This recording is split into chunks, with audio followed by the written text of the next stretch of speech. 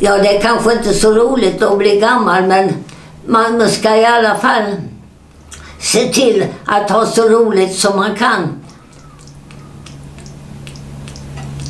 Ett skratt förlänger livet och det, man, glada människor är lyckliga människor.